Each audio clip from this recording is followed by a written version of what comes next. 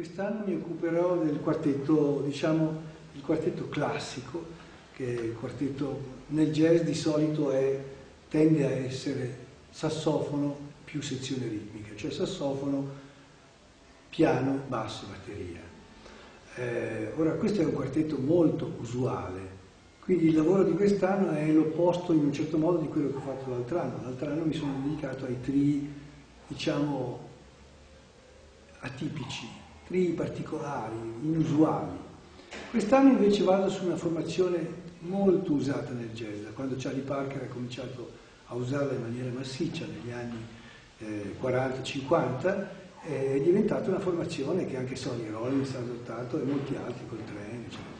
Allora, eh, quest'anno io mi dedico alla mia versione rispetto a questo quartetto, cioè il quartetto col sassofono, pianoforte, basso e batteria. La differenza rispetto all'approccio usuale, che è quello di uno strumento uh, che sta nel front line e la sezione ritmica che sta dietro e accompagna, è più di un interplay più intenso fra tutti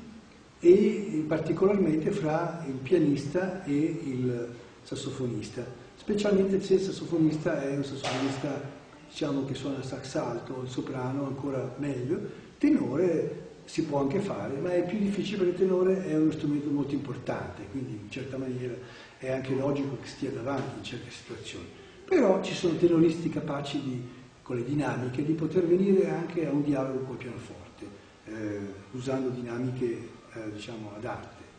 Eh, e questo interplay si svolge soprattutto in questo modo, quindi praticamente l'asse è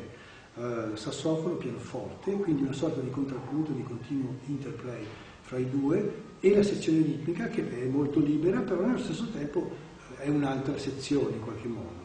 Poi però ci sono tutti gli incroci in mezzo, tutte le varie possibilità in mezzo di combinazione, basso e sassofono piuttosto che batteria, pianoforte da soli, roba di questo genere qua. E poi eh, metterò molto l'accento sull'uso, per esempio, delle timbriche e delle effettistiche in funzione di ampliare il più possibile il raggio d'azione timbrico degli strumenti in un piccolo gruppo che chiaramente è carente di alcuni, di alcuni suoni per forza di cose, perché mancano, una tromba non c'è, un violino non c'è, una voce manca, insomma cose di questo genere, c'è solo il sassofono, c'è solo il sassofono. Ma il sassofono può avere una voce che cambia in continuazione e quindi può anche adattarsi a creare delle situazioni proprio timbriche interessanti per aiutare gli altri. Il pianista può anche lui a sua volta col tocco cambiare molto suono se vuole e anche ruolo in varie situazioni. Il basso può usare anche l'arco, sia per effettistica sia per situazioni diciamo, eh, di suono più normale, ma il batterista deve avere la possibilità di poter usare molti suoni differenti. Questo è perché in generale la mia visione del piccolo gruppo è comunque che sia un gruppo inusuale o un gruppo usuale, comunque che il piccolo gruppo, al piccolo gruppo manca qualcosa della timbrica. Bisogna supplire con eh,